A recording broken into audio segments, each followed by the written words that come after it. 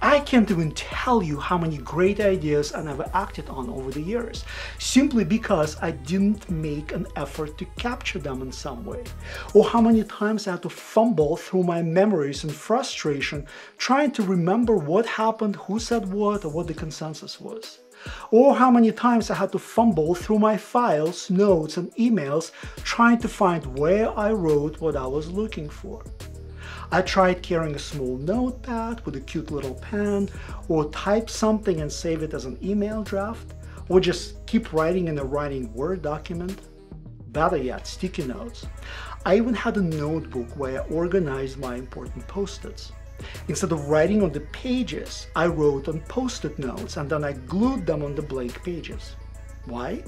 Because I could move them around when a more important note was added. It was sort of like a bastardized version of a Kanban board. Yeah, good times. Anyway, all this was an attempt to come up with a system to simplify my life, but none of the tools I tried worked. Everything was tedious, bloated, and just went against the grain. Enter Apple Notes, which I dutifully ignored for years because having grown up in the Windows environment, I was taught that any built-in and or free app is pure garbage. Well, better late than never, I learned Apple apps are different. And just like all other built-in Apple apps, Notes is free, it's already on all of my devices, everything syncs everywhere in an instant, it's slam dunk easy and has the power of a freight train.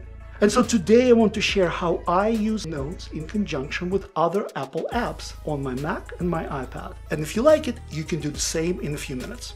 All right, let's go. Back a few years ago, before I started using Notes, I wanted to make sure that I was comfortable with what it does and how it does it. I didn't want to spend time setting my stuff up only to find out that I'm using it wrong or it was just not the right app for my needs. And so I wanted to be clear mainly on three things before committing. The first thing I wanted to understand was the difference between notes and reminders, which one is best for what. If you are new to these two apps, think about them in terms of a spreadsheet and a word processor, pages and numbers or Word and Excel. Yes, I can create a text document in a spreadsheet and I can create a table in a word processor, but it's going to be a massive struggle if I do that. And so I use reminders to manage all of my scheduled and actionable items, such as to-dos, tasks, and backlogs. Notes, on the other hand, is many things, but one thing it isn't is scheduling and reminding. By the way, my next episode is about how I use reminders. So what is Notes? Notes is a word processor, it's a calculator, it's an awesome PDF editor, it's a sketchpad, it's a voice recorder, and it's a voice transcriber. It's a checklist, and it's a secrets keeper. Like I said, Notes is many things, but as busy as it sounds, all of this is wrapped in a very simple, clean, and super intuitive interface. It has just enough tools at your fingertips to get a whole lot done without getting bogged down in menus, drop-downs, tabs, and toolbars. I'm a software developer. I can really appreciate the level of effort that went into creating something as simple and powerful as Notes interface. Alright, what do I use Notes for? I use it for anything that is not directly actionable or time-boxed on its own. I scribble all of my work meeting notes, notes from various calls, system design ideas, agendas, and so on. Also, all of my YouTube scripts, titles, and episode descriptions, all of that is organized in Notes. Notes is also a word processor on steroids where all of my files are right here in the sidebar. I can link my notes together and I can hashtag them for auto filtering. I can lock my notes with a password. I can rearrange pages, mark up and fill out any PDF document. I draw flowcharts and process diagrams alongside with my text notes. I have access to Apple writing tools and built-in ChatGPT. So everything sits together in one place in a group hug. Moving on. Next on my list was to ensure that organizing and searching in notes was fast and intuitive. The last thing I wanted to have is more friction in my life using a tool that's supposed to eliminate friction. And Notes does deliver here as well. I feel that organizing and navigating is excellent. But in a strange way, it's actually more than that. When I first started with notes, I got this unfamiliar level of comfort seeing all of my files, my entire life right here in the sidebar. It felt good knowing that everything I need is there always on all of my devices and it's always up to date. I don't need to sync anything, log in and dig through my drives and folders looking for things. All right, let's take a look. These are my actual notes on my Mac. I organize my notes in folders and subfolders. I personally found this setup very easy to navigate and I can quickly locate what I'm looking for. You can set up as many subfolder layers as you like. I typically stop at two layers underneath my top folder. Otherwise, I end up with too many clicks. Creating folders is simple. I can either click at the bottom of the sidebar or go File, New Folder on the Mac. To create a new subfolder, you can click on the three dots in the parent folder. I personally forget about the ellipsis magic and so I just create a new folder and then drag it over the one I want it to sit under, like this. As soon as you add a subfolder, Notes will make its parent folder collapsible, which is very convenient because I can make my sidebar look very organized and focused with just one click. Now let me show you how I organize my sidebar. I have four main folder categories. I have here business, life, money, and work. And my last consideration was around text formatting options. Notes provides the same text formatting options typically available throughout the entire Apple environment. Now, I want to share four of my absolute favorite features in Notes. I love things like this because they make my life so much easier and simpler. We'll start with the end. Number four, ability to collapse the title, heading, and subheading. Let me show you. The title will collapse everything underneath it until the next title. The heading will collapse everything until the next heading, and the subheading will collapse all the text below it.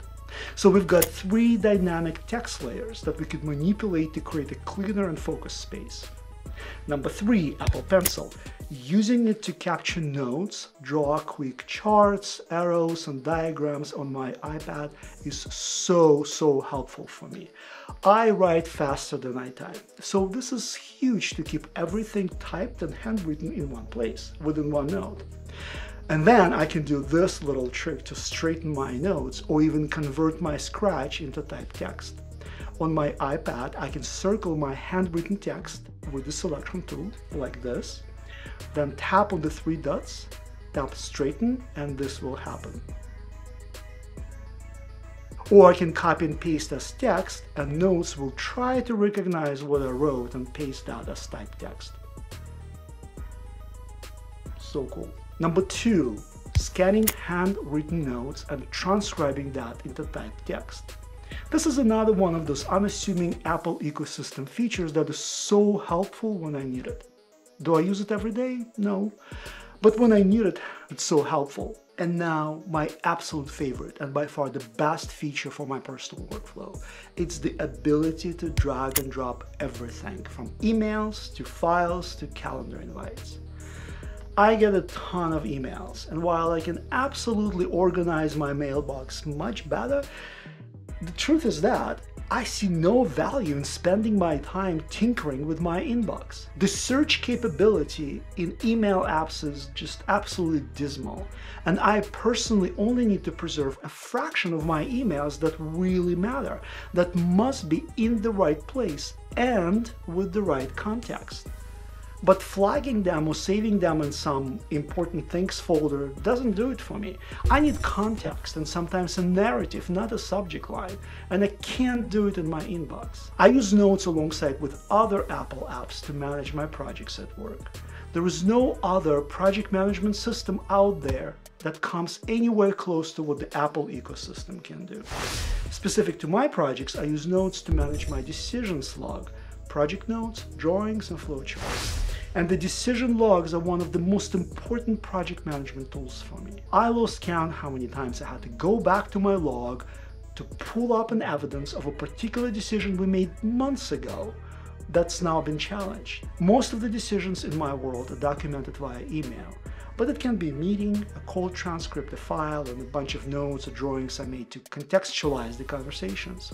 And so I simply drag and drop all that into a note, name it, date it, and done. Anyway, let me show you how I do it. I use the split screen on my iPad. Let's say this is the email I want to link to a note. Click, wiggle around to unstick it, and then drag and drop. Tap on the link, rename the subject line into something that's more informative, and done. You can link files, photos, and even copy text messages. Notes is a remarkable app, but together with reminders, they create a powerhouse like nothing else out there. My next episode is all about reminders and how I use that fantastic app to keep my life together and functioning. And I hope you enjoyed today's episode as much as I enjoyed sharing with you what I know and how I make it all happen and the various tools and techniques I use every day. We're all done for today. Thank you for staying to the very end and reach out if you need help or have questions. I'm always happy to connect. I'll see you in the next one. I love you.